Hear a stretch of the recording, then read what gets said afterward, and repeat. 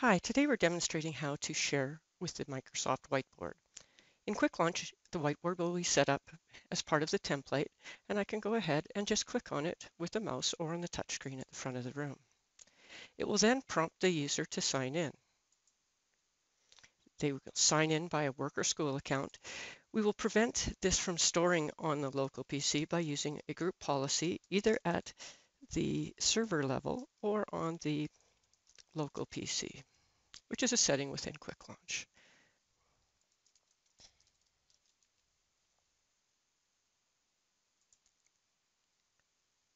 Once I'm signed in, at the bottom you can see that I've got the pens and I can draw whatever I'd like. If I click the check mark, I can add pictures and um, post-it notes and, and other items.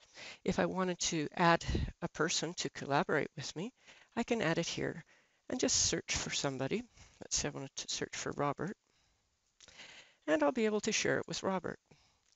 And away goes my invite. If I wanted to, I can also uh, remove him as a participant in the whiteboard. At the end, I have the ability to go ahead and say here, I want to export the image that I'm working on to send it to all the people in the meeting. Now inside Quicklaunch, you set it up to store into a particular directory and we'll put the test document here because at the end we're going to zip it up, group email it, and then delete it. Going back to our meeting, we could easily go in and click on group email.